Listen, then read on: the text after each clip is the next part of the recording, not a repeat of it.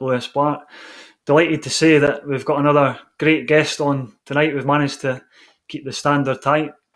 Tonight I'm joined by ex Hibs Cup winning hero Mickey Weir, also ex Luton, Millwall, and Motherwell. Mickey, first of all, thanks very much for coming on my podcast. No, no problem, Lewis, no problem. We'll just go uh, right back to the start, Mickey. Uh, when you were playing with the school team and you're also playing Sunday football, was that for Pilton Sporting?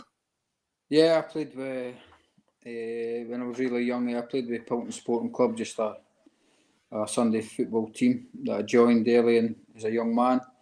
Uh, it was just just an occasion, actually, one of my mates come to the door and asked if I'd like to play it. And to be fair, I was a wee bit uh, I kind of fell out of love with football at that time, Lewis. You know, so a couple of wee guys came to my came to my door and asked if I'd like to play for the team. So I went along and I loved it. Uh, a guy called Ian Dayton, I better me, I better mention him, or I'll not, I'll be happy. Many years ago, and he got me playing. So yeah, that was the start of it. So how early on, Mickey, did you re- realise that you were a bit different to other kids? That you were maybe a level above other kids? I never, I never really looked at it that way, Lewis. You know, I never really looked at being better than anybody else or anything like that. Uh, I certainly think when I was younger, really young, at primary school and that, uh, I was, it was a lot. It was natural, Lewis. You know, it was a lot of natural stuff. It wasn't like kind of I got any kind of coaching or anything like that. A lot it was natural, uh, and I took a sort of, I took a couple of years out of the game because he just. Uh, certain situation where I was being told that I was too small to play, you know, so I kind of got a wee bit disheartened with it, gave it up. But I always, always believed that uh, when I was really young, that's that's when I was at my best. I was definitely, I definitely lost a good, I would say maybe twenty percent of my game simply because I gave up for I think it was a couple of years near enough. So I always say that that was twenty percent of my game that I kind of lost. Do, do you think now with the, the pro youth, Mickey, that that's why other kids are a bit like yourself, that players with natural ability, it's maybe getting coaxed out of them? Well, I've always said that at a young age, I believe you've got to let them go and play with freedom. Now, I'm not against uh, coaching, you know, I'm not, I'm not all against coaching because you do need some of it, but I think at a young age, uh, you've got to let them go and play with freedom and, and just let them go and enjoy the game because I think uh, I think a lot of young players can be they can get they can get baffled with the game and it kind of it can chase them away for the game. You know, too too much tactics and coaching and that type of stuff. Certainly, if I was, if I look at myself when I was younger, I think if I'd have walked into some of the sessions I've seen with young young boys, I think to be honest with you, I'd have walked away. I wouldn't have. That wasn't for me, you know, because I wasn't that I wasn't that clever, you know. So too many cones and discs and things like that would have kind of put me off, and that's been serious. And I always looked at that my when I was involved in youth coaching as well. That yeah, you've got to do a wee bit of coaching and that, but I don't think it's especially at a young age. I don't think it's a be all and end all. I think you've got to let the players play their own game. You know, my dad used to always say to me, you know, go and play your own game. You know, I'd ask him, what, what can I do? What do I want to do, Dad? He'd just say to me, just play your own game, son. Play your own game, and that's what I did, and I, and I believe in that. I, I still believe in that today. So you spent a couple of years at, at Thistle. You're saying that you fell out of love with the game. Was there a turning point where you, you fell back in love with football, Mickey? Yeah, it was simple. It's the same type of thing, Lewis. You know, one of my friends asked me to go and play for St Augustine's High School. But it was actually a it was a trial session with it for the school and he asked me to come along and play, and it was for the B team at St Augustine's High School. Uh, and I always kid him on because when I went along, uh, I got in a, I got asked to go into the A team after a wee while when he got left in the B team. so he wasn't happy, you know. But uh, it was that got me back to the back to playing again, and then I was very lucky because I had a great I had a great coach at the time, uh, Con Dugan, who kind of straightened me out to be fair, Lewis, because I was at that time I was I was I just wanted to win at everything. You know, I had a I had a hunger to win at everything, and uh, my first couple of games at St Augustine School, uh, I was. I remember one time a guy had a boy had a bit of a kick at me, so I just I was chasing him around the park for the next half an hour, near enough twenty minutes, just trying to kick him, you know. And so I had a good heart to heart with him, with Con Dugan, uh, my teacher on the Monday, and he, he told me you can't play for my team if you're going to be like that, Michael. You need to, you know, concentrate and play football. So he was a big help to me, Lewis. So you were a, a Hibs fan growing up, Mickey. What's your best memories of being a young lad and, and going to watch the Hibs? Oh, it was it was fantastic. You know, when I was young, I was you know I was lucky enough to go and go to see a great couple of good sides. You know, playing in Europe and going my granddad, my dad, my uncles, and being behind the goal beside the big floodlights. The, the European nights, I always remember the European nights. I was very young, but I can just remember it was just magical. You know, just the floodlights on the pitch and running down to the running down to the corner flag to see the players taking a corner kick. You know, just as a young person, it was it was great, and I was very fortunate to see a lot of very good players when I was younger. You know, and, and the standard that that was set from that day, from there for watching the Hibs, always stuck with me. You know, I, I believe the Hibs should be up there with the best in Scottish football, and I, I'm still like that today, Lewis. So, who, who were some of the, the good players that you watched back then, Mickey? Who is it that you admired? Well, my hero at the time was uh, Alec Edwards. I loved Alec Edwards simply because he was just uh, he used to take all the corner kicks and that and free kicks. So I would just run down, and I could always remember him. You know, just this guy who could pass a great ball, great crosser of the ball. He just had that bit class about him. Just he just had an arrogance about him that I loved as a young player, as a young man watching him. He just was so confident in his ability. I just loved watching him. So he was one. There was obviously other ones, Pat, the great Pat Stanton, so many good players at that in that time. But I was fortunate to see all these good players week in, week out with us, you know, and it was I was very I was spoiled really. So eventually um, it became interest from the club that we've just been talking about, Hibs. How did that come about, Mickey? Well, I've been playing with my, my St Augustine's High School, and then I got asked to go and play with Portobello Thistle, and I was only there for a matter of months, uh, maybe one season, maybe just. Uh, I need to look back. I, I can't remember actual dates, but I wasn't there too long before I was asked to go and play in a, a one-off game at Easter Road it was uh, Edinburgh against uh, Hibs 11 sort of thing, sort of mixed teams.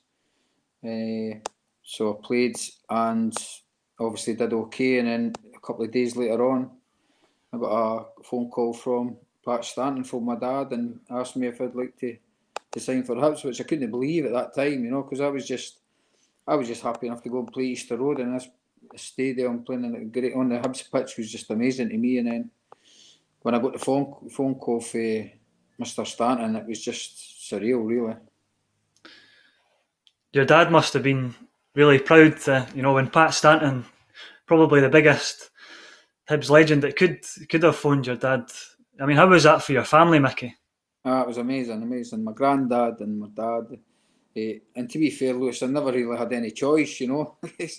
as soon as my dad knew that Hibs were in, that was it. It was done deal, you know. It was. Uh, and obviously, Paddy Stanton was my dad, one of my dad's heroes, you know. So he was more excited than me, you know. He's getting to see Pat Stanton and going along to the ground. Was a 16 year old boy going in to meet Pat Stanton and Jimmy O'Rourke, George Stewart, real top Hibs players, you know, legends of the, of the club.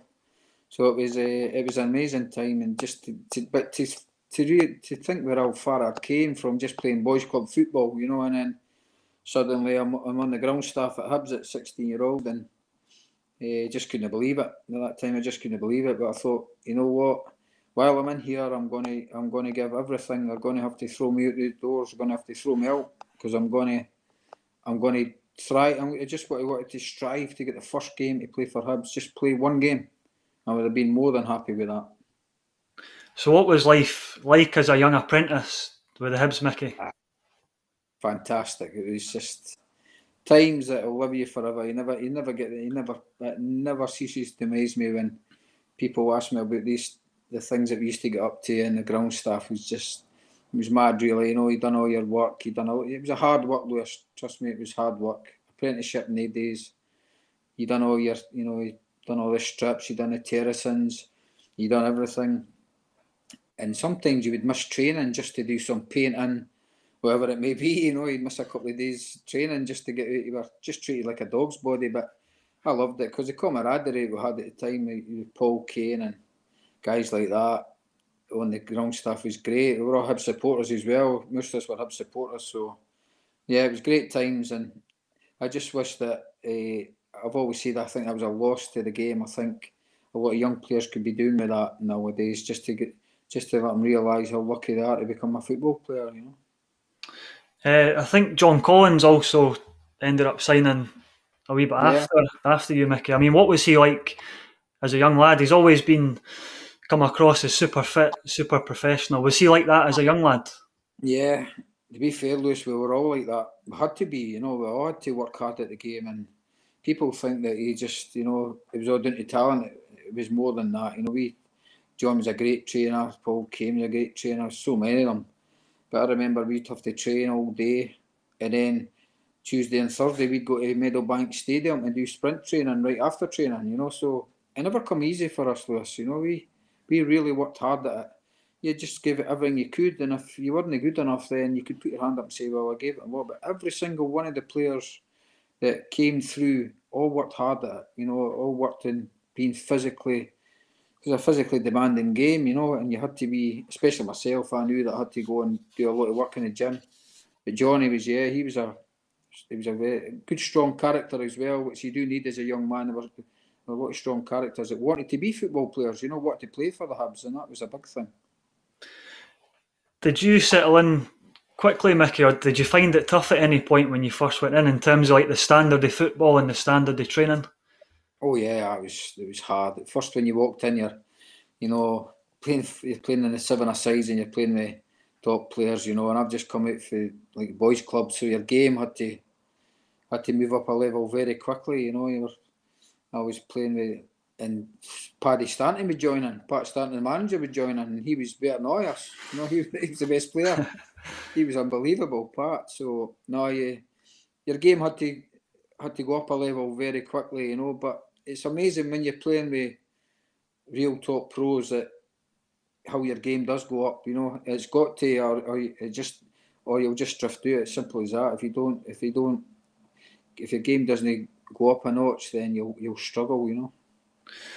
What what was Pat Stanton like as a coach? Was he obviously he's known as a quiet man? Was he quiet during the training, or was he was he quite hard on you, Mickey?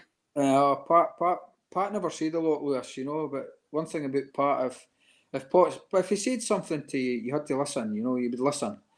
Jimmy O'Rourke was the man who uh, uh, had a lot of time for me. Jimmy, Jimmy was a Rottweiler. Jimmy would have a go at you. He would really have a go at you. Big George Stewart you ran away from Big George Stewart. he didn't say much to Big George. Just, but Pat, Pat was a, a many. He was a man of very, very few words. But when he did speak, there was always there was always a lot of golden nuggets there. You know, just wee simple things that would say to you, and you, you had to put take it on board. But he wasn't a no, he wasn't a ranting and raver.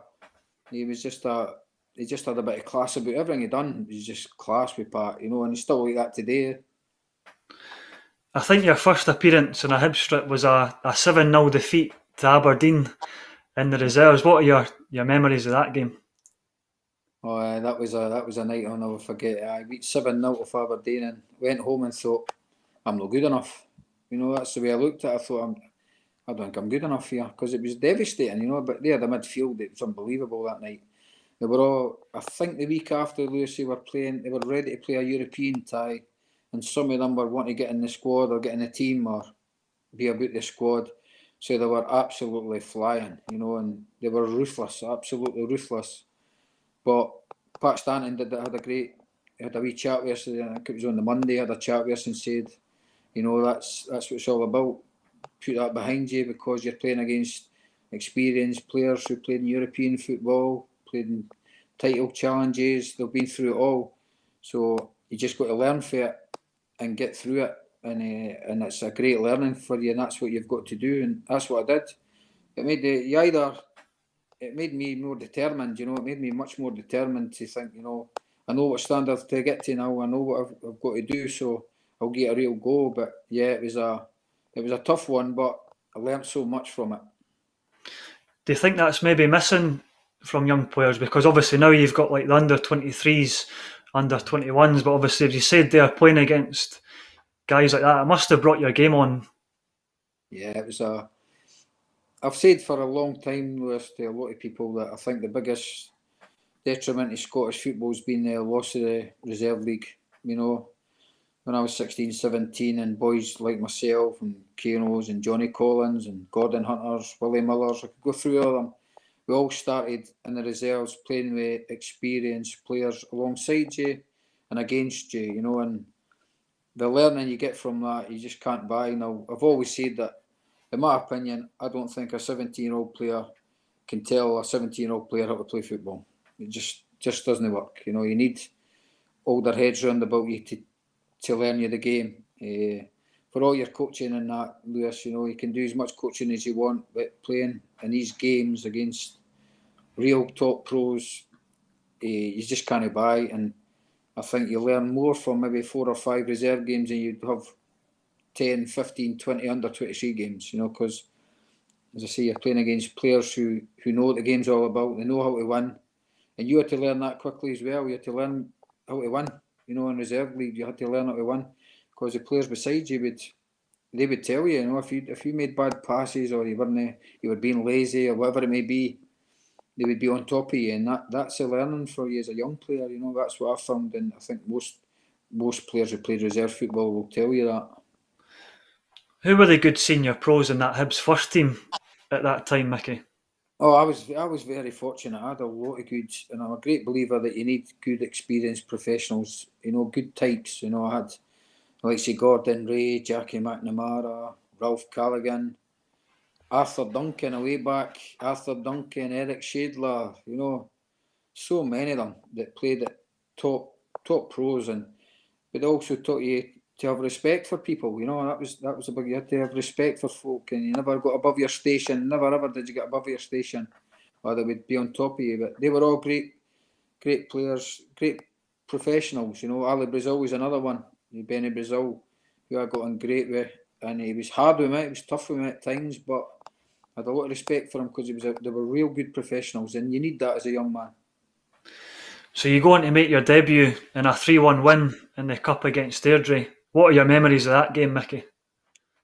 It was unbelievable. Actually, I was actually doing a, I was uh, doing my apprentice, my apprenticeship work. I was I was cleaning the terracing and and whatever we were doing at that time, and and the manager just came over to me and said, come here, son, over. He come and I went over and I said, uh, you can play left back tonight.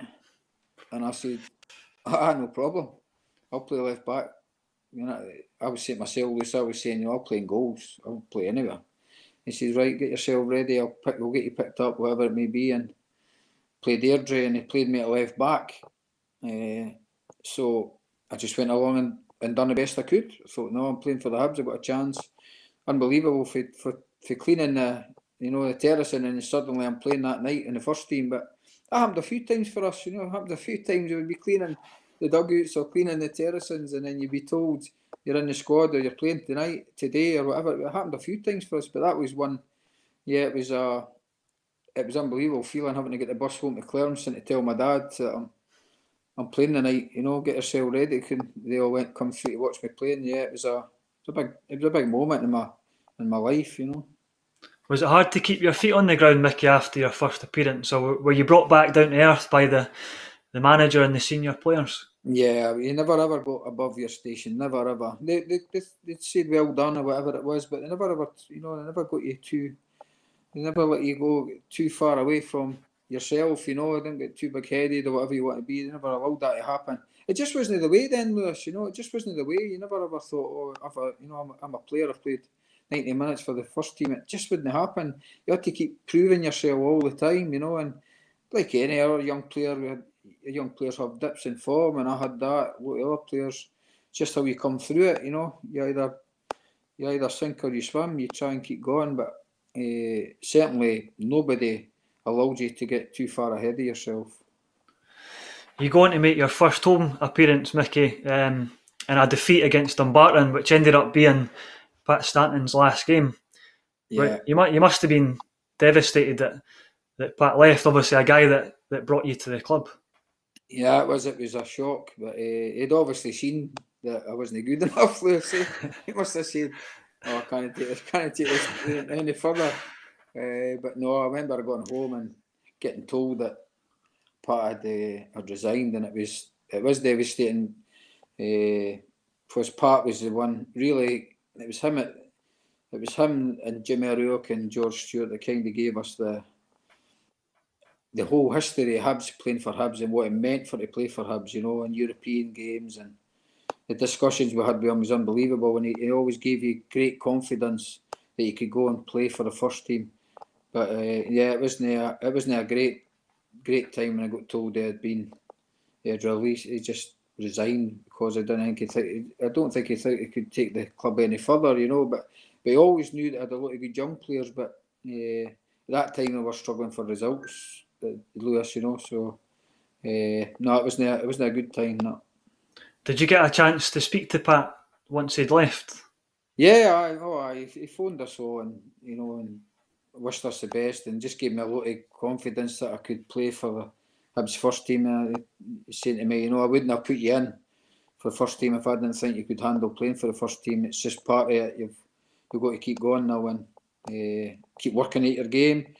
Just gave me great confidence, Lewis. You know, and, but for him to say that, you got to remember that Paddy is, you know, the king. We called him. I, we called him king. I never called him Pat. I called him Pink. Yeah, I called him king. You know, so uh, when the king tells you that you're good enough to play for the Hibs, and you took that. I took that uh, as as great, great, a, a great, uh, a great. What would you get? A great respect for me to, to say that he could say to me that I could play for for Hibs was was big for me, you know. So John Blackley comes in. How how yeah. was he as a manager and, and as a guy, Mickey? John Blackley was hard, tough, tough. No messing about with John Blackley. Uh, to be fair, I never really got on well with John. John was very hard on the young players. But I realise through time like you do, Lewis, that sometimes you've got to be hard with young players, you know, and John was a John was a winner, an and out winner. Uh, tough and if you didn't play well, we told you, you know, and he would never hold back. If he didn't if he expected you to do better than he would tell you and he was always hard with me, very hard with me. Uh, and a number of young players as well. He was hard with, but he was hard with me for some reason he had a he what he used to strive for me to do better all the time, and uh, but it worked us, you know. It worked later than I look back now. He was hard with me, but it was for a reason. It was for a good reason, you know, because he knew that was a I had a chance, but he didn't want me to throw it away. And but as I say, he was really tough, tough for me. And uh, but I, I, every time I see him now, whenever I see him, I always thank him for it because he was, he was, he was one of the he's one of the, the people who drove me on to become a footballer. So as you said, you were in and out of the team, and you, you went on to make 11, 11 appearances in your first full season. Did you have belief then that you could go and establish, establish yourself as a, a first team player? Yeah, I always had belief, Lewis. I always never ever, I never ever had a lack of belief to play for Hibs. You know, I always because I worked hard at my game, I practiced hard, I trained hard everything you need to do. I always believed if I got a chance, but unfortunately, when John Blackley came and I took a a bad bout of glandular fever, which put me out of the game for near enough a, eh, a season, a whole season near enough. So there was doubts in my mind that I was going to get a contract. You know, I thought I might not get a contract here, but when John Blackley moved on, obviously I did. I was lucky enough to get a contract, but I, I really thought I was on and it wouldn't have been a surprise to me, Lewis, because I hadn't played a lot of football. You know, I'd, I'd really struggled with glandular fever, and at that time, nobody nobody knew what that was. It was a kind of new thing that came into the game, you know, and I suffered badly with it. And uh, so I was hanging, I was hanging in for to see if I would get a contract at that time. To be honest, but uh, fortunately, it happened.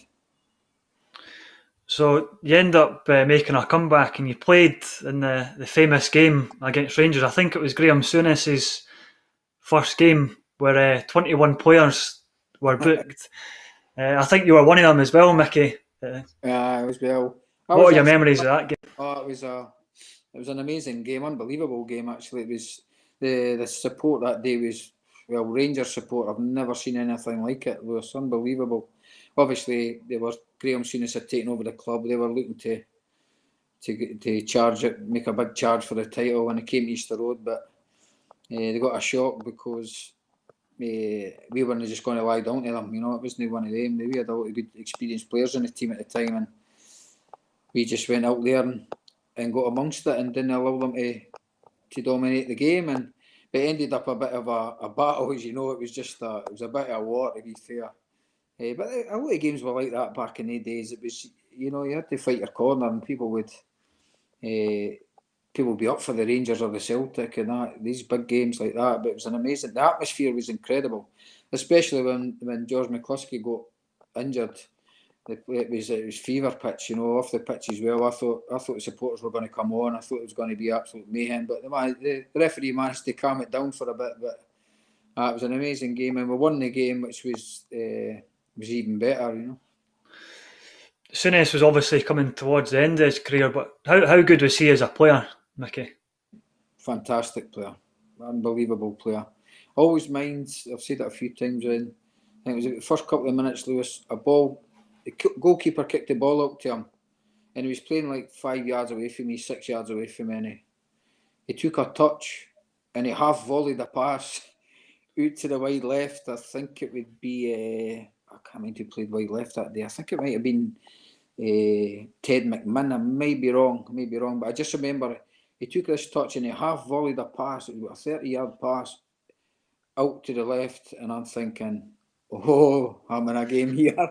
I'm in a real game here because he was his touch, but his touch and his awareness of the game, and he was a he was a nasty bit of stuff as well. You know, he would he would he put it on you within in a heartbeat.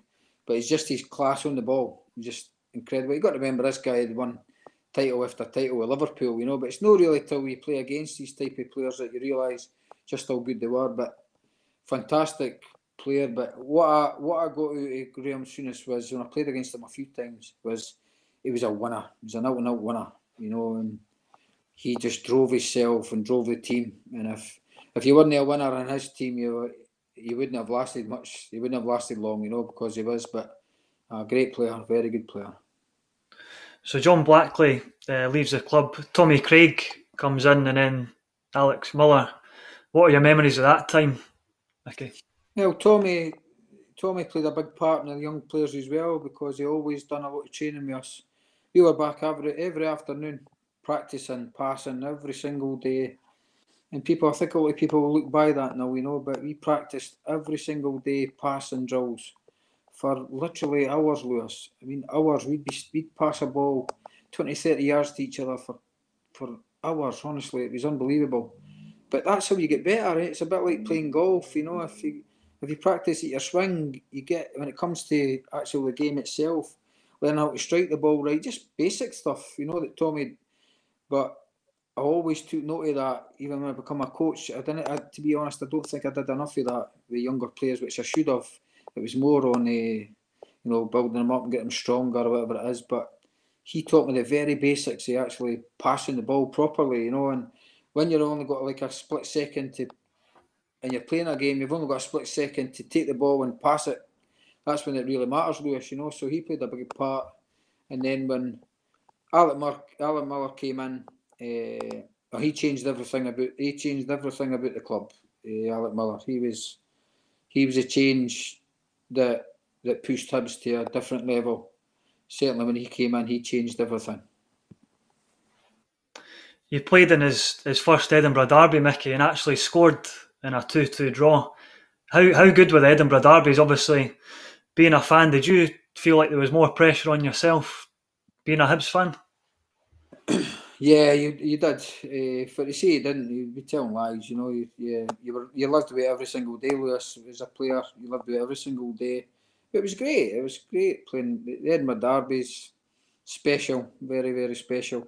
Unless you've played in them, it's very it's difficult to let people understand what it's like. You know, I remember my first one just walking out in the pitch and everything. It just it was unbelievable. The atmosphere, it was fever pitch. You were just out there and I think this is what it's all about. You know, you've dreamt for to play in these games. You go out there, and the game just passes you by, Lewis, because it's so frantic. You know, it's just win at all costs and the support, everything about the atmosphere. The game went so quickly, but loved it loved every minute of the, the, the Edinburgh. Didn't love the losing when I lost the games. It was a nightmare because you were you used to you have to go into hiding for about a week or something, whatever it may be. But I loved it. I loved the big games like that, the Rangers, the Celtic, the Hearts, big games that you know you're putting away your wits against really good players. But the atmosphere of the Edinburgh Derby, nothing, nothing touches it. Uh, Hibs Hearts Derby, nothing touches it. For playing for the Hibs, if you're playing for the Hibs, that's that's a big one. You know, playing against the Hearts because it's just the way it is, Lewis. You know. Did you prefer playing in the derbies at Easter Road or Tynecastle, or was it just was it just the same for you? Nah, it didn't bother me. I got abuse both sides. I got abuse at both sides. It didn't matter where I played. I played at Tynecastle, dogs abuse, and I went to and I played at Easter Road, dogs abuse. But I just, I loved it, Lewis. You know, it was it became water off a duck's back, really. You know, because you've got to be able to deal with that. But certainly, it was before the game eh, the, the build up to the game, and then after the game, then it was it was it could be hard. You know, if you've lost the game, it was like heartbreaking because you you've got to speak, you've got to deal with different people. You know, your family, your friends, art supporters giving you abuse everywhere, or even Hib supporters coming up to you and saying you were rubbish and whatever it is, and hard to take. But uh, I wouldn't have changed it. No, the, the derbies are special. Who were some of the good Hearts players during that time, Mickey, that you came up against? Played a lot of good players. Played a lot against a lot of good players. Uh, your Gary Mackay's and your John Robertsons, these type of players. What I liked about Gary Mackay and that they type of players were they were Hearts people, you know. They were Hearts people. They knew what it, what it meant to play for the Hearts, just like myself and Paul Kane. These guys, Gordon Hunter, Willie Miller, all these guys who knew what it meant to play for the Hibs, you know, and so there was a great rivalry there, but there was also the respect. I always had respect for them, you know, uh, simply because that the Edinburgh Derbies they knew exactly what it was about. So these they were they had a lot of good players, Lewis. You know, John Colquhoun's a good player. So many good ones. I can go back to Sandy Clark, but the best player that I played against in an Edinburgh Derby, and I've said this many times, was Sandy Jardine. Sandy Jardine that played for Rangers and he came to Hearts and one of my first derbies, uh, no, not one of my first ones, but one of the games I played in. Uh, and I remember the manager having a team talk about it. Right, we've got Sandy Jardine at the back. He's not got any pace. You know, we'll get in behind them. We'll do this. We'll do that. And after the first five minutes, he was taking the ball off the goalkeeper in his own six-yard box. You know, pinging balls about, passing balls about. Absolutely strolled through the game. And I thought, top, just class, real class. So he was uh, he was the best player I ever seen playing in a derby. You ended up putting a good run of form, Mickey, which resulted in you earning a move to, to Luton Town, who were in the, the top division in England at the time. How did that move come about? Well, I've said that a few times, Lewis. It came about. I was a bit impetuous, to be honest, Lewis. You know, I was uh, I was getting a bit fed up at times. Certain things that were happening in my personal life that were annoying me. And at that time, I was kind of I wasn't getting on with the manager. There was a there was a, was a, a number of things that got to me, starting to get to me, you know. And I thought, and when the chance came along, you know, I thought, well, it's the English first division. At that time, it was the big division. Uh, I maybe not get another chance of doing this, but uh, I was a bit impetuous and I, I went along with it.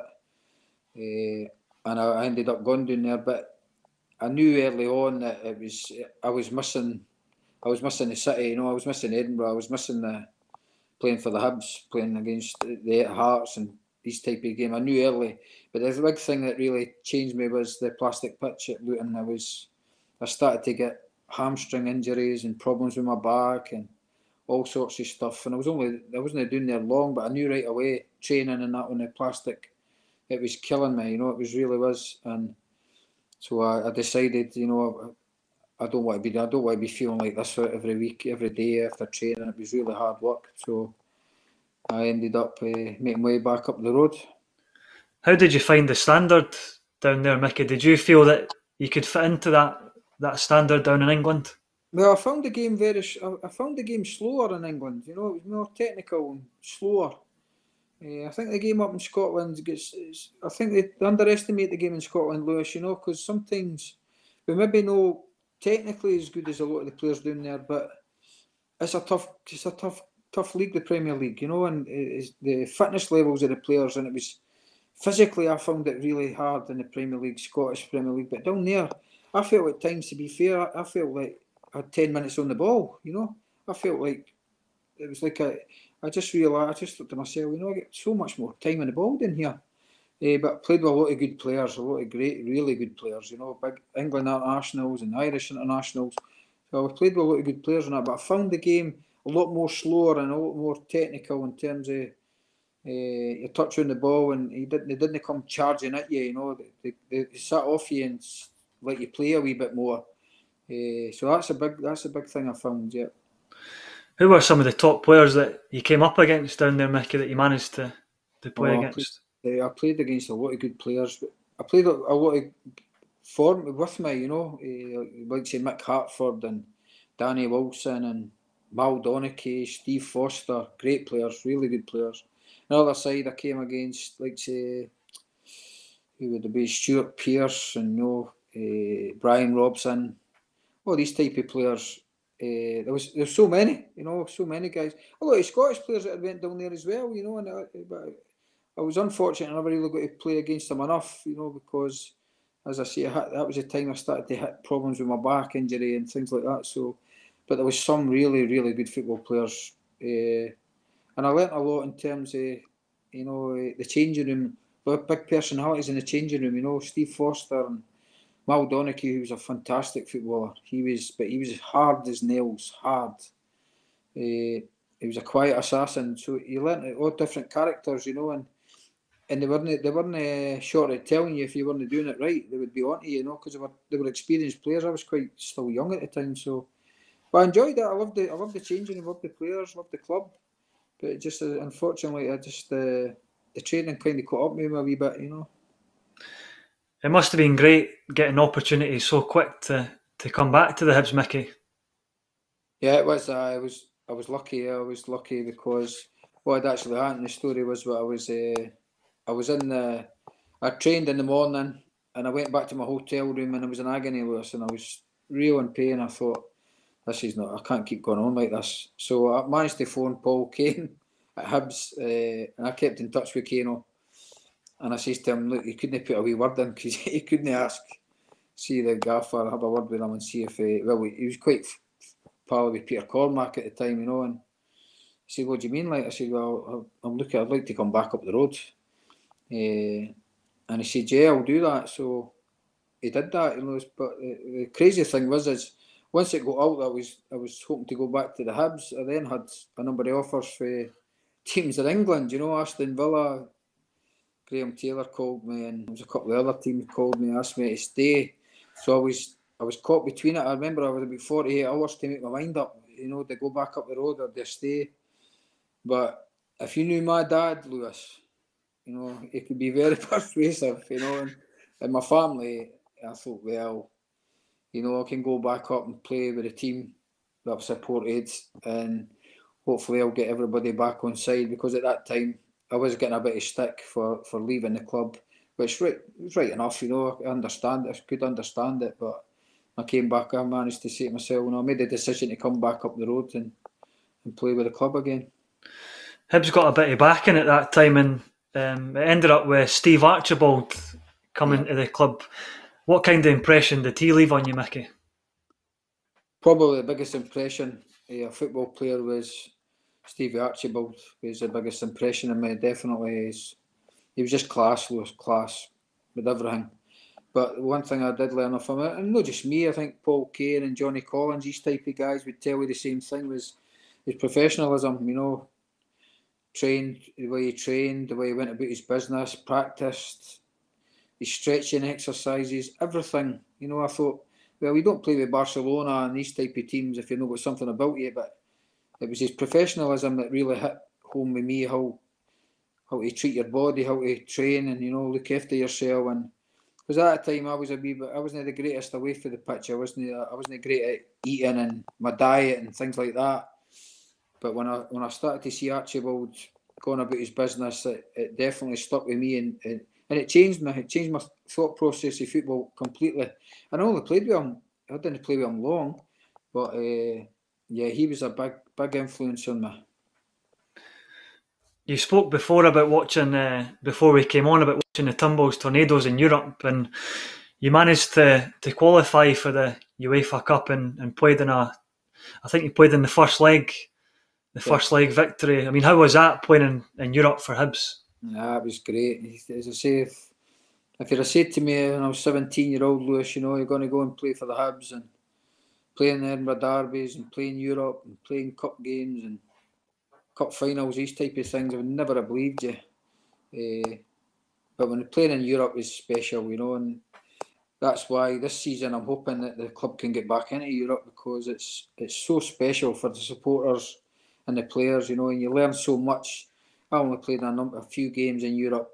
I wish I'd have played a lot more, but certainly in those games, they're just the learning of how they play the game in Europe. You know, the technical side of it and everything about their game's completely different for us. You know how to slow the game down and everything uh, was special. But certainly playing in them was a was a lesson, complete lesson. I think the one of the first games, I don't I don't I touched the ball for about the first fifteen minutes or something. All I done was chase bodies. I was just running about, you know, because they were so good with the ball. They were so good at keeping the ball, and that's a European game. The European games like that, you know, if if you can't look after the ball, then you're not going to you'll not last long in Europe, you know. But no, certainly great days, great nights uh, playing playing for the Hibs in Europe. Yeah.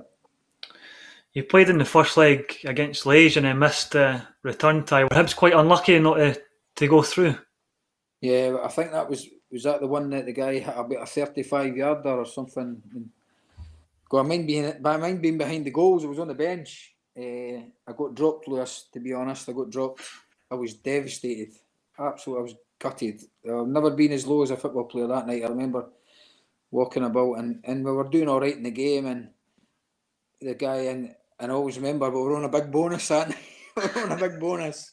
It was a good bonus for a young boy, you know. At that time, you're thinking we're on a big, good bonus, and the guy picked up a ball for about thirty yards, and he hit this ball, and I was right behind the goal and watched it.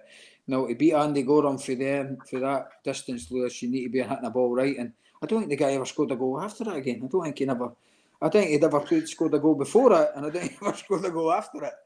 And I just remember, I thought, because the only thing that would have softened me the blow and me not getting a game was the bonus at the end of it, Lewis, you know. So that made that a double blow. So no, it was a great experience, but uh, yeah, getting knocked out was uh, it was a tough one to take. You mentioned Andy Goram there, who'd obviously end up leaving the club. Mm. Did you know that you wouldn't be able to keep a hold of Andy Goram much longer? Well, it was just like everything, Lewis, in football. You know, if he was doing so well that it was obviously there was rumours that clubs were in for him, you know, and he was an exceptional goalkeeper. Exceptional goalkeeper. I was lucky to play with a lot of good goalkeepers. You know, Alan Rough, Jim Leighton, Budgie, and then Goram. So I played with four really good goalkeepers, but Goram was was top class, yeah. But when he left, uh, I told him I wasn't happy with him. I said, "Tell me, you should have stayed," but I could understand, you know, because the lure of playing for Glasgow Rangers at that time and uh, obviously his salary came into it as well because he was obviously looking at looking at his own interests. But uh, no, I didn't. I, I was wasn't happy with him, but I could understand at that time he was so he was hot and he was he was outstanding. You know, so it was always going to be somebody looking to take him on. Yeah, a, a great goal scoring run, Mickey, in the 91 92 season. And then Hibs ended up reaching the, the semi final of the Skol Cup. And you mm. came up against a, a pretty decent Rangers side. Did you have full belief that that Hibs had a chance of going through? Yeah, never doubted it. Uh, said this many times. I was a roommate. I was rooming with big uh, Gordon Hunter at the time. He was my my roommate. Never played any balls right enough. He never played any phone balls or that. but he was my roommate. Never played anything, in fact. But uh, and that night, uh, I remember saying to him, you know, we'll win we'll beat Rangers, we'll win. And he looked at me and I said, you know, I just had a feeling. I thought we've got a good side with a lot of good players. Uh, and we were playing well, everything was there. All right, we knew that Rangers were a really good side, Lewis, you know, they had a lot of good players on their side. But I thought if we turn up and play as we can, we can beat Rangers, and there was no doubt. But you got to remember, I know when I was younger, I'd played against Rangers and won against Rangers, you know, so I never really feared me because they were great games to play in these big games. That's the games you want to play in. So I had that in my in my mind as well that not to fear them. But I was always confident if we if we played the game, and you need a bit of luck against these sides and all, you know. And Budgie was really good that night. Two centre, but Gordon Hunter was he was immense. Him and Tom McIntyre, they were fantastic. Up against Mo Johnston and that, they were they were on top of their game. So we managed to get through it uh, against a really good side. But no, I was always confident if you perform, because in the games at the end of the day, Lewis, you've got to perform. You know, semi-finals or finals or whatever, you've got to perform on the day, and you've got to got to desire. But the one thing I've always said about that team is we had we had a lot of winners. You know, a lot of winners. Big Keith right up front, always guaranteed. If Big Keith got a chance, he was a great great finisher. Big Keith, you know. Uh, so if you always had, you always had a chance if you had, if you could get service to him, Keith would score the goals. But we had a lot of winners in the team. Murdo McLeod, you know, go through it. Graham Mitchell, Pat McGinlay, a lot of winners. And you need that, Lewis. You need that in these games. You know, you need you need winners, boys that know that want to win so bad that it hurts. You know, and, and we had that. You mentioned uh, John Burridge had a good game, and but he also played another role uh, in winding up the Rangers players. What was he like as a character, Mickey? Ah, uh, he was, he mad as a brush, mad as a brush. Budgie was a, but a great man, great man. Uh, full of confidence, been there, done it. You know, had the t-shirt. You couldn't help but listen to him because he'd been in the game. I think he was forty odd year old or something like this. You know, so he'd been there and seen it all. You know, but he was just such a an inspiration for me. I've always said I don't, I don't think I've ever seen a, a, a player that was so in love with the game of football. You know, so in love with the game. Absolutely, that was his be all and end all was playing football and being a goalkeeper, and he never set his standards so high. It was incredible. But uh, away from it, it was a good lad. He was a really good lad. He was nuts, absolute nuts. But uh, I, I loved him as a person, as a, guy. He was great. And when you've got the guys in front of you, you know, you're looking at them in front of you in the tunnel. You think we're, we're in a chance here. You know, he's because he'd been there, played against the best, and played in big, big games as well. So Nah, Budgie, I had a lot of respect for Budgie, a lot of respect, but as I say, absolutely crackers. You set up the, the winning goal for, for Keith Wright. Did you ever work on that that understanding, or did that just come natural? Nah, that's just it was. I've always said to Big Keith. Keith winds me up. He said that.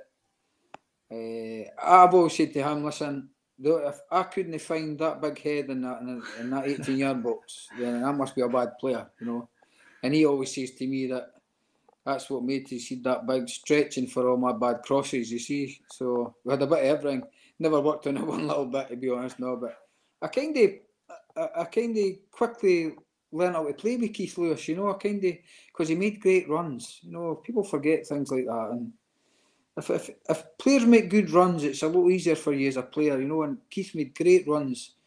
Uh, him and boys like Darren Jackson and, you know, these type of players, clever players, they made good runs, so they made the pass a lot easier for you, you know. And that's what I learnt about Archibald. Archibald was like that. Archie could he would never be in the game. He'd just make one or two wee great runs.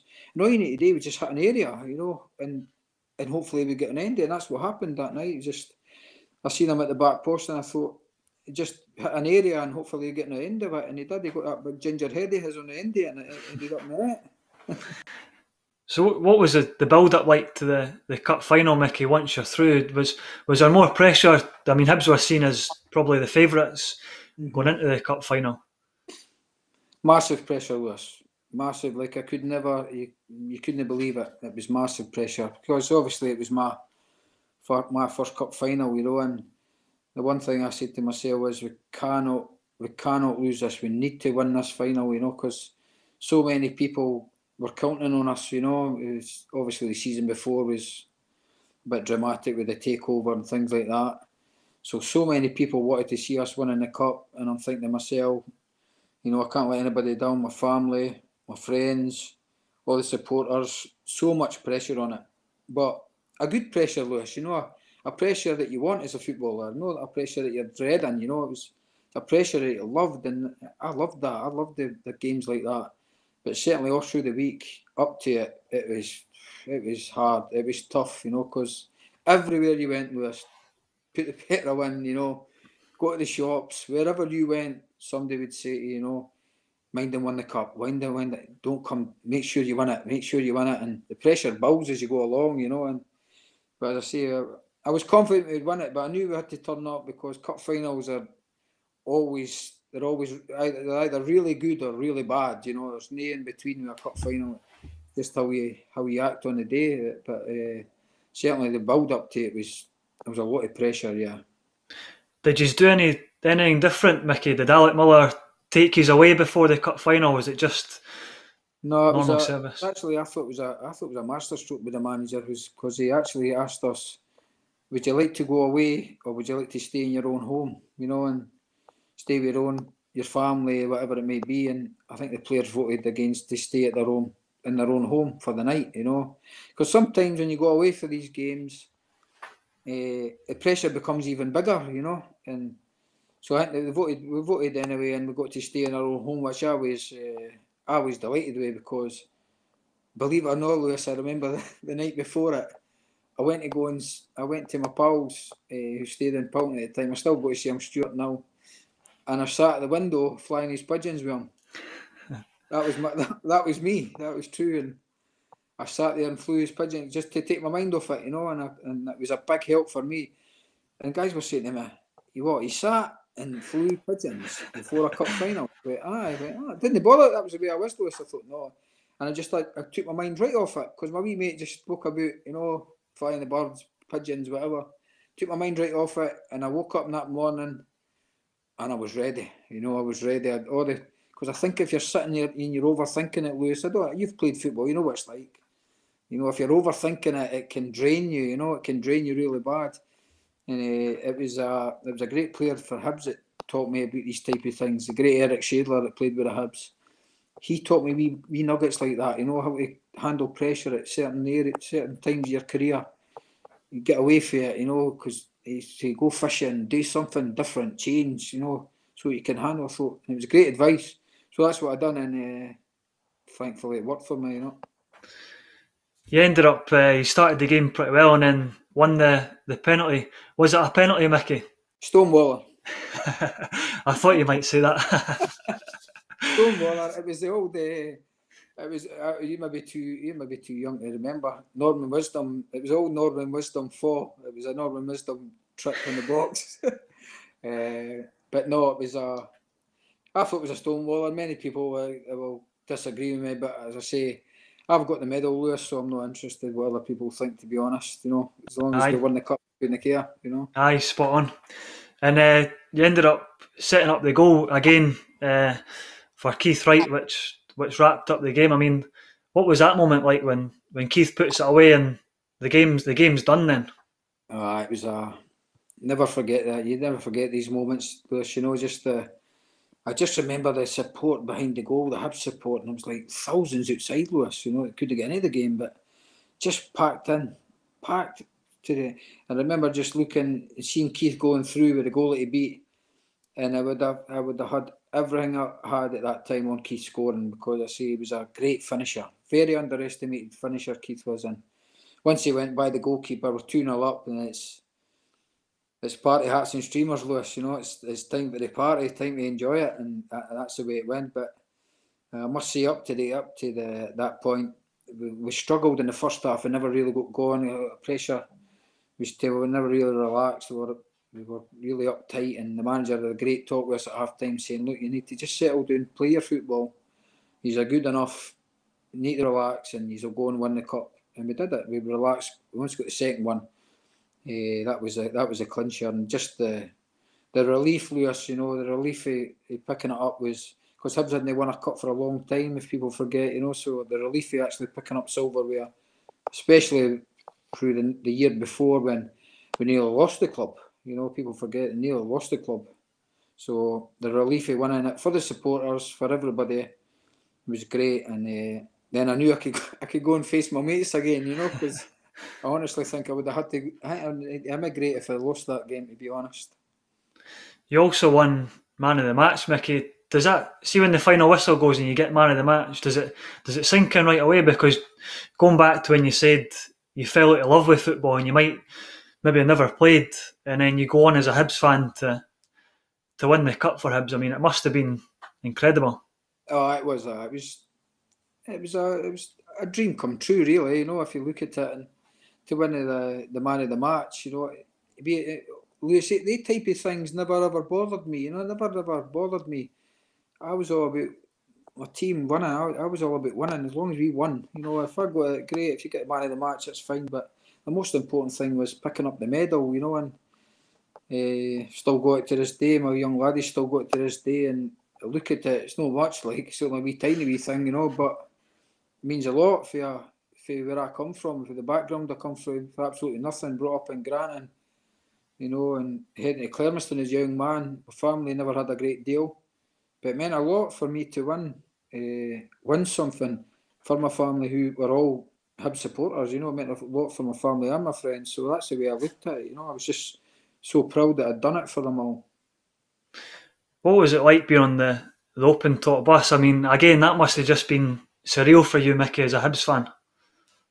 Ah, it was it was it was crazy. It was absolutely crazy, and just the supporters everywhere you went. It was just driving by the Maybury. There was supporters everywhere. You know, I always said that Hibs were a big club, Lewis. You know, I've always said that. And I thought people underestimate how big the club is. You know, but that night uh, I was proved right, and I remember a number of players saying to me they didn't realise how big they were. You know, how big Hibs were, and I kept saying, "I'm a big club, and if you if you deliver success for Hibs, you'll see how big they are, you know. But even, it, it shocked me to be fair, Lewis, you know, because I've seen so many supporters from Maybury all the way through to Barnton, right along Corstorphine, and it just gone on and on. And then we arrived at the ground, and the whole ground was packed out, you know, and the supporters outside, they were everywhere, absolutely everywhere. But I just think it was a great night for the club and a great night to get over the previous season, you know, because it was it was a lot. Of, there was a lot of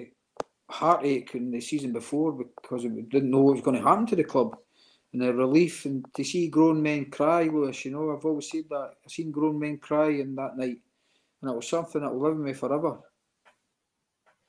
What were the celebrations like? Where did you go after the game, Mick? Celebrate? Were you able to sit with your family and, and the boys? Yeah, we did. I, I did spend a bit of time, but. Uh, I ended up, we ended up in Edinburgh. I ended up in uh, some point anyway. Ended up in Buster Browns. You know, I ended up in Buster Browns in Edinburgh. I didn't. I wasn't a drinker, as you know, so I don't drink. So, but enjoyed a good night. I enjoyed the night with the boys. You know, but uh, it was crazy, and I, I, remember it's an incredible story. Actually, I went and uh, I was at Buster's.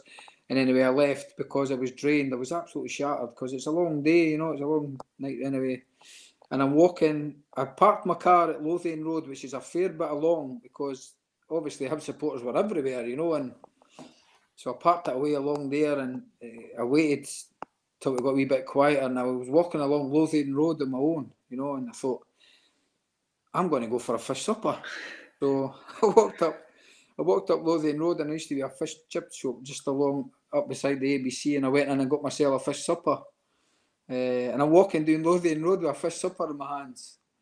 And there was two Hearts supporters across the road from me. They were, they were kind of drunk, you know. And they started giving me abuse, started shouting at me, you know. And I looked at them, the two of them, and they were shouting, give me abuse and whatever. And so here, I started to walk, and just as I looked round, they started chasing me.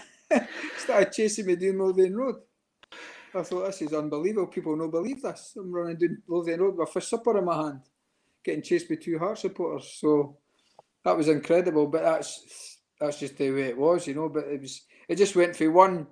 People wouldn't have believed that you just won a cup and then suddenly you're running down East uh, Lothian Road with a first supper in your hand. Crazy.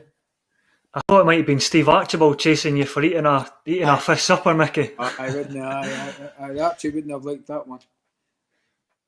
You ended up spending another five years with the Hibs, Mickey, but you had a lot of troubles uh, injuries, did that come from, as you said, your time at Luton, obviously playing on the AstroTurfs and uh, a bit everything, Lewis. A bit everything. I, I, always struggled. I still struggle today, as you know. I struggle with my back, but uh, that was the first season. Really, I'd had a full season with no having problems with my back and ankle injury at that time. It didn't really matter, but I was really struggling. And after that that season, it really hit me bad. It really hit me. I was I really struggled. I was never the same player. I was never. I'd lost the the bit of spark in my game that I had, and I knew that, you know. But I was quite proud of myself in terms of getting through it because I did had some dark moments with injuries, you know, and getting told a couple of times that you'll not be able to play again. You may you may have to give up the game, and but I just kept going, Lewis. You know, I was thinking, you know, I'll just keep going, but I knew at some point it was going to. And the season after that, and then the season after that, I was never really what I wanted to be, you know. But I can assure you, if you if you'd have seen the kind of stuff I had to do just to play games of football, uh, you would have understood it. But I've no regrets about it. But I was disappointed because I wanted to play in more cup finals. You know, I wanted to play more in European games, that type of stuff. I wanted more out of the game, you know. But unfortunately, it caught up with me uh, badly over that three or two or three seasons after that. I was never quite the player I, that I wanted to be, you know.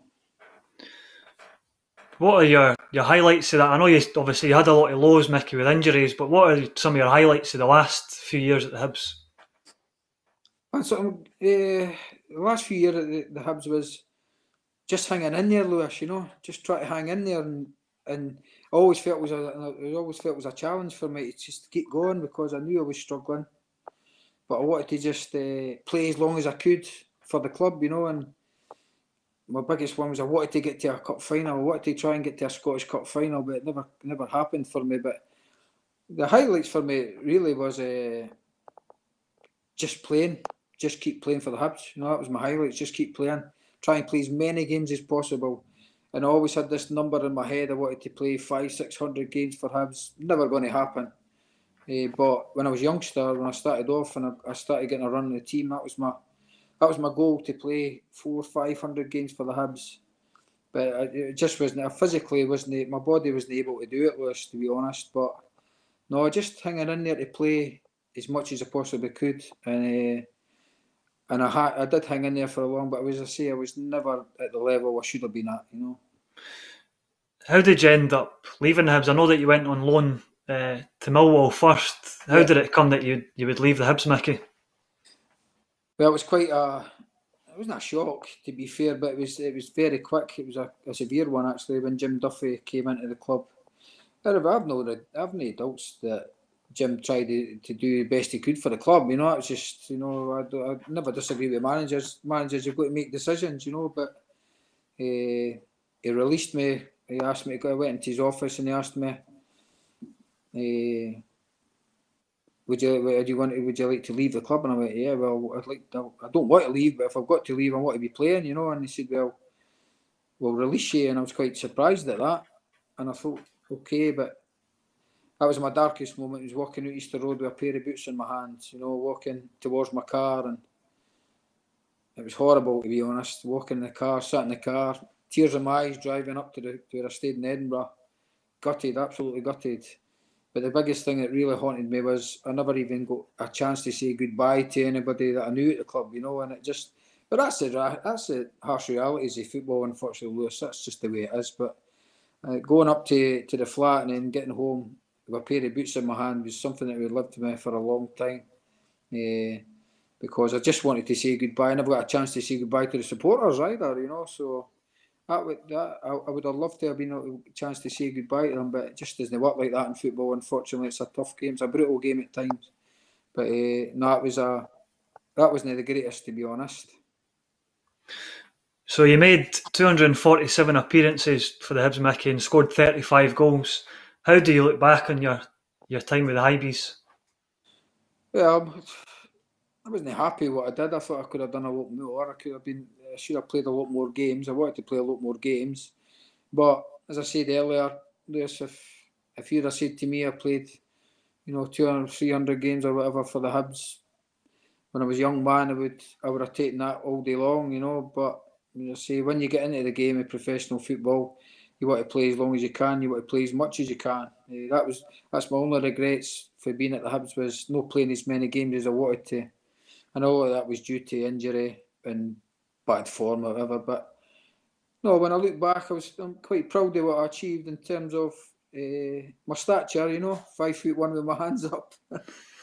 well, five foot three with my hands up actually, but uh, for what for the stature I had, I was quite proud of getting through everything and, and actually playing because uh, always had a always had a fight in my hands, as you know, just being a young young player, being small and having to play at the top level. I'm quite proud of that, you know, and I've, I've always said that to young players, you know, don't give up your dreams, keep going, don't let anybody just say that you can't do it. If you've got the will and the desire, you'll be amazed when you get out of the game, you know. And so I'm quite proud of that part, but I've got the regrets in terms of wanting to play more, you know, wanting to play more games, not just for the Hibs, but in, in professional football in a whole. I wanted to play more games. You spent a, a couple seasons with Motherwell, Mickey. Yeah. Did, did you enjoy your time at Motherwell? Absolutely loved it. Loved it. Uh, I love just playing, Lewis. I love playing football, you know, and it was when I went to Motherwell. Was you know we, we were in a bit of a we were uh, in a relegation battle, you know, so that's something I'd never experienced. I experienced it when I was at Millwall for a loan. They were in a relegation battle, but when I went to Motherwell, this was completely new. You know, it was a it was a real fight, especially the first season. We just we just stayed up, and in the second season we kind of we did okay. But by that time, I was I was in real trouble with my well, back injury. But no, I loved it. Supporters were good with me. Players were good. Played with a lot of good players. Tommy Coyne, Owen Coyle, really good players in that side as well. Uh, a lot of experience. Alex McLeish as manager. Winker, Andy Watson, who was the coach, who I had at Hibs as well. So I played a lot of good. I played a lot of good games as well. A lot of good games, you know, Ibrox and Parkhead, these type of games. So no, I was coming to the end of my career at that time, and I knew that it was just I was same again. I was just trying to survive, Lewis. You know, just play as long as I could, and it caught me eventually. But uh, I loved every minute of the Motherwell, uh, my time at Motherwell. I think the biggest, the best game I played at Motherwell was when we played against the Hibs. Believe it or not, when uh, Motherwell and Hibs were struggling at the time, and I came out and I'd never played against the Hibs, Lewis. You know, I'd never played against the Hibs, so it was a big day for me. And I remember walking, coming out to the game and going towards the Hibs end, and the Hibs end all stood up and started clapping, me, and I couldn't believe it. I was like shocked. I was, I was, I was, it was a bit of lump in my throat to be honest, because I thought, my goodness, I couldn't believe it. I thought. I didn't expect that. I was completely shocked. You know, Hibs were in a battle at the time for to stay in the league, but they had the decency to stand up and clap me on the, into the pitch, I thought was unbelievable. And I never forgot that. You know, and Hibs supporters were so good to me. I was very lucky. And but I never ever forgot that. You know, how how respectful they were that I played for the club, you know. And uh, so that that's always been a I always think of that as a, a big day in my career, you know. Obviously, you mentioned the Hibs fans singing your name, Mick, and I know you said that you had regrets and you wished that you'd achieved more at the Hibs, but did the fans singing your name kind of help you and kind of make you realise that you did achieve a lot for the Hibees? Yeah, well, definitely. Still, this to this day, Lewis, I'm still like that. You know, uh, when people come up to me and, and you know always shake my hand and I seem to, I just seem to get on well with the supporters for some reason. I don't know what it was actually, but I just seem to get good. So I was very, I was very. Uh, respectful with the supporters because they, I think they knew, you know, me being small and that, they knew that I had a bit of a fight in my hands, Lewis, you know, because they knew every game to me was a battle, you know, every game was a fight. So, but I think they appreciated I gave them a lot. I maybe never played the best every game, but it was one thing for sure. I, I always gave my best, the best I possibly could. I always gave my best for the for the play for the club. So, no, I was very respectful with them and, and everything that they've done for me. And even now, you know, I, I always I've always got a great rapport with the, the Hibs supporters. Brilliant, Mickey. Uh, we're now going to move on to your your all time. I've set you a challenge to pick your all time uh, you haven't Hibs eleven. uh, so this is guys that obviously you've watched um, as a Hibs fan, Mickey. So yeah. Well, I wanted. To, I'm glad you never asked me the players that I've played with, Lewis, because that becomes a nightmare, you know. Cause there's people that uh, upset quite a few people, you know, and my texts go like mad if I, I don't mention people. So I'm glad you're not. But the best team, so I went over the 11 and uh, that the best players I've seen playing for the Hibs as a supporter. And uh, this, my starting lineup would go as let me get a bit of paper. I've got the paper here, Lewis. Let me have a look at Aye, this. no worries. I don't want to change it because if I change it, I'll get a few texts telling me you're talking a lot of nonsense. So, but the team that I I liked was I would go for Goram in goals because I think Goram is the best goalkeeper. Although I've had a lot of good goalkeepers in their time, you know, even when I was younger. But certainly Goram was the player, the goalkeeper, best goalkeeper I've seen playing for the Hibs. Uh, but that's no against Jim Leighton, Alan Rough, Budgie. There's a lot of good goalies, but I just went for Goram as the best. Uh, at right back, I would go for the great John Brownlie, who was the best right back I played for the Hibs. I seen playing for the Hibs. Uh, had a lot of good, got a good, had a lot of good right backs at the time. You know, it was good players played with the Hibs, but John Brownlie was the best I seen for playing for the Hibs. At left back was uh, Erich Schaedler, who was the hardest player I ever seen and played against, and the hardest trainer I'd ever seen, the most professional player I'd ever seen.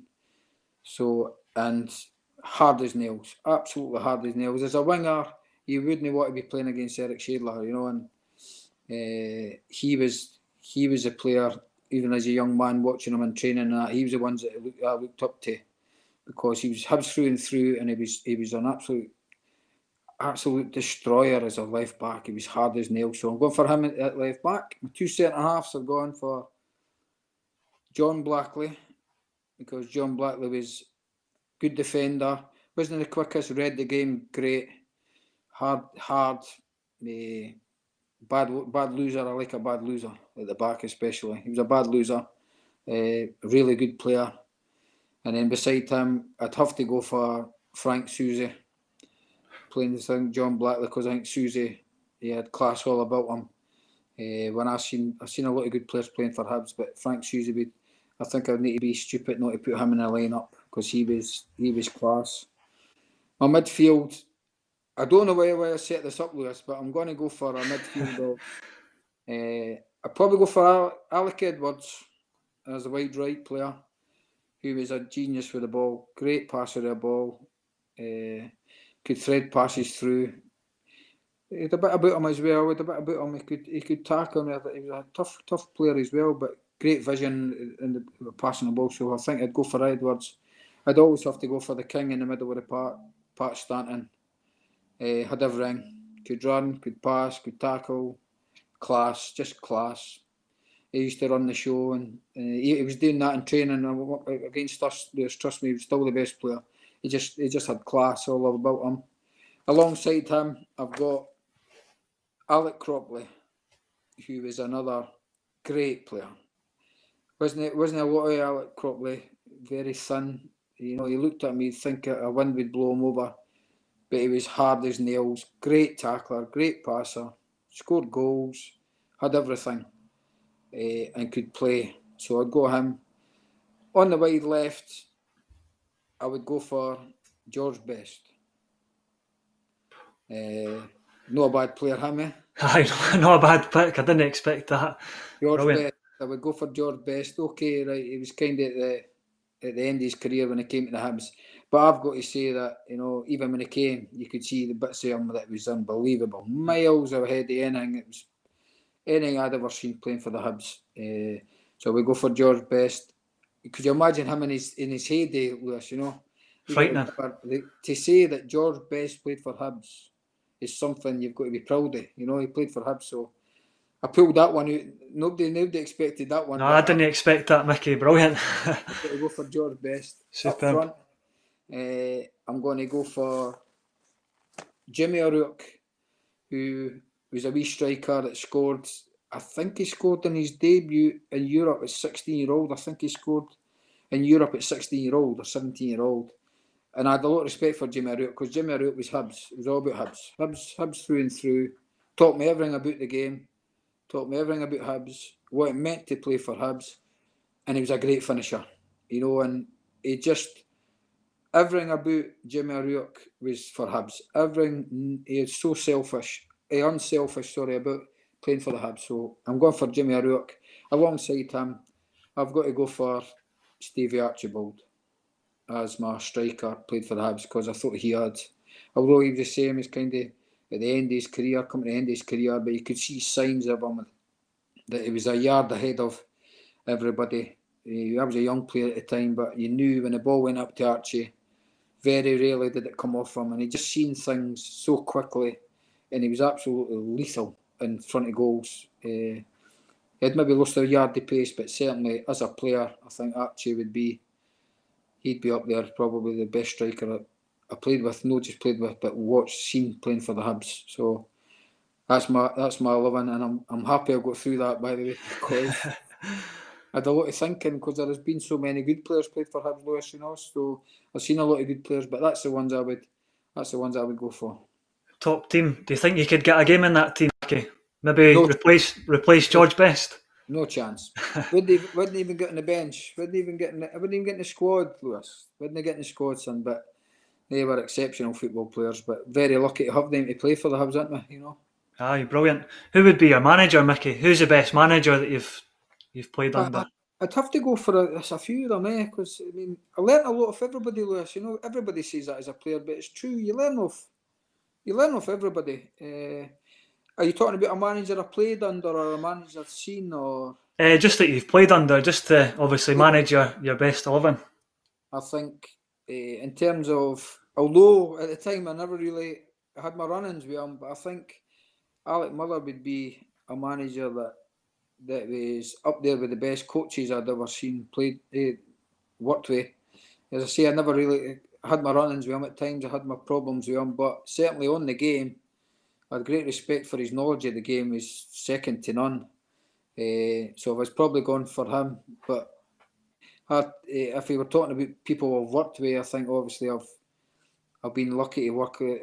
I've seen Sir Alex Ferguson at his at his peak as well. You know, when he was at Manchester United, I was lucky to go and, and go alongside him with Dave McParland and just learn how the great man worked. You know how the great man done his business. So I would have went for him or then Jock Stein, maybe Jock Stein. Eh? So there's a few of them. Brilliant. Jock Stein obviously was uh, hoping we could have kept him at Hibs way back in the day, Lewis. You know, he was a manager at Hibs. Imagine we'd have had him as, as your manager. Eh? So, but if I'm looking at the ones I played under, I'd probably prompt for uh, Alex Miller, yeah. Brilliant. We're just going to finish off with some questions that have been sent in, Mickey, if that's all right. Yeah, no problem, no problem. Sorry for keeping you so long, by the way, Lewis. no, no. I really appreciate your time, Mickey. It's been brilliant. No, um, the first question is from Gordon Barm, old man, who obviously I know that you've you've coached uh, back player. in the day. Good player. Gordon was a good player. Good player, Lewis. Very good player. So he's told me, Mickey. He's told me plenty of times. So now, now you've backed him up. he told me he was a good player as well, by the way. so he's asked um, first, who is your favourite sportsman outside football? Oh, that's a good question. Sportsman. Uh, outside football. Uh, I like boxing. You know, I, I like boxing. I'm, I'm into a bit of boxing. I, I like all kinds of sports. Really, I like a winner in the sports. You know, I like I like winners. I like guys who have been there, done it. Eh? So if I was probably looking at sportsmen, I'd probably go for uh, Sugar Ray Leonard He was a boxer I admired watching uh, way back in the day.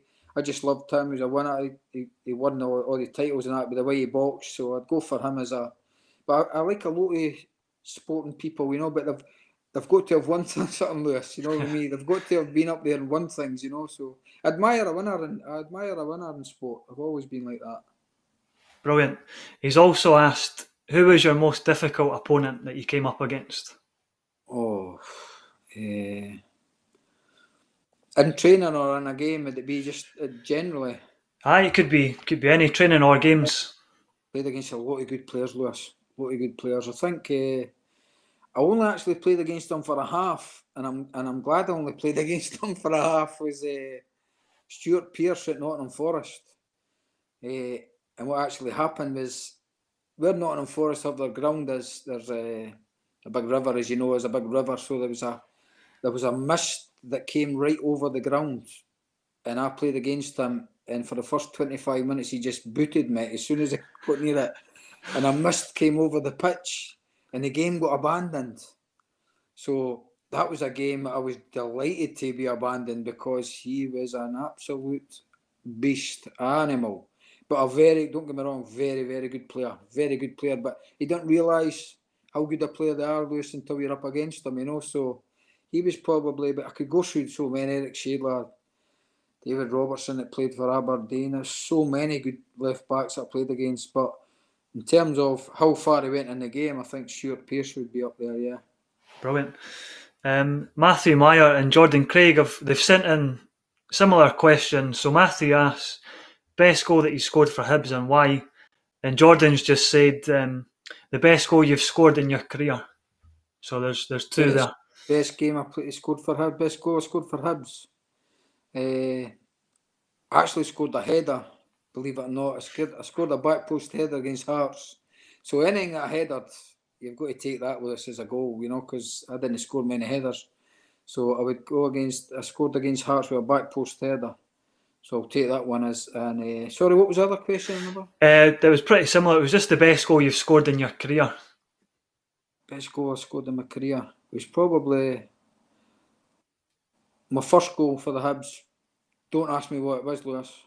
Don't ask me what it was, but that would be my first, probably best goal, simply because it was my first goal for the Hibs, you know, and uh, I would probably put that down as the, the best goal, simply as I say, because as a young boy, you're always dreaming about, you know, you could imagine it, Lewis. You know, you probably dreamt it as well, scoring your first goal for the team that you supported uh, all your life. You know, so I'd probably go for that, son. The last question from me, Mickey. Yep. How would you like to be remembered as a footballer? Uh, as just just someone that always gave his best, Lewis. You know, always gave his best. So I say I never, I never played great every week. I don't think any player can say that, but always, always give his best. You know, always went out and gave a hundred and hundred percent effort in every game he possibly could. That's what I always wanted to be known as, as a player who went out there and gave everything, gave his all. I used to say that many players when I when I was coaching, and I've always said try and play every game like it's your last game, you know. And that was advice I got for a coach many years ago, and it always stuck by. Play every game like it's your last, because it may well be your last, Lewis. You know, in football you just don't know, and I always took that advice. So that's how I'd like to be remembered. Brilliant. And uh, I know you, you said you, you would have liked to have achieved more, but you lived out my dream and I know played for the Hibs and managed to be a, a cup winning player. And for coming on my podcast tonight, I really appreciate it. So I thank you, Mickey. No problem, Lewis. Thanks very much. No worries. Cheers, Mickey. Take care, son. Take Thanks care. very much. Cheers. Bye bye.